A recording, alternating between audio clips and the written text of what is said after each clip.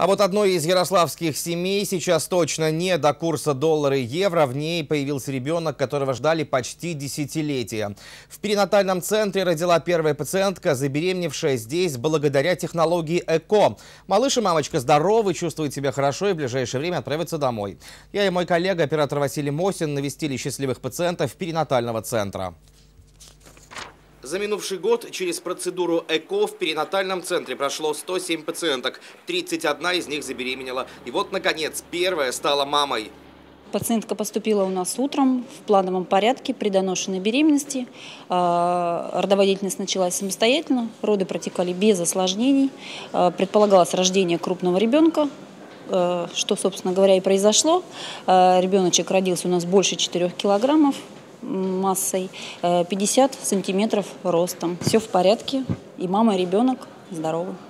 Счастливые родители просили не называть и не показывать их. Для мамы и папы, живущих в Ярославле, это долгожданный первенец. Желанного карапуза они ждали долгих семь лет. После диагноза, который услышала молодая женщина, руки не опустились. На помощь пришли современные медицинские технологии.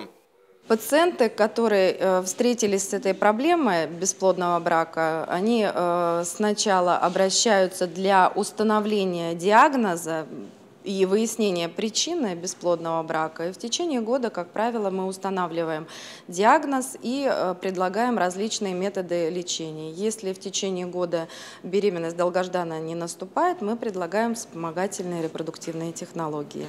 Отделение ЭКО в Ярославском перинатальном появилось чуть меньше года назад. До этого ради высокотехнологичной процедуры женщинам приходилось ездить в Москву или Иваново. Для технического наполнения подразделения наша область потратила около 12 миллионов.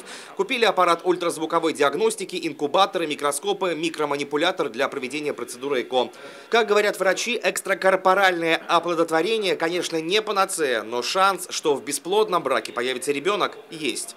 В марте 2015 года перинатальный центр отделения охраны репродуктивного здоровья было лицензировано по этой вспомогательной э, репродуктивной технологии. И мы начали э, первые программы протокола ЭКО. И одна из первых женщин э, забеременела, выносила и в срок родила. А в Рыбинске произошло другое чудо. Там родилась тройня, первая в регионе в новом году. Малышей назвали Полиной, Никитой и Антоном. Каждый весит больше полутора килограммов, поэтому новорожденных доставили в Ярославский перинатальный центр. Здесь они будут находиться месяц. Я Барабанов, Василий Мосин.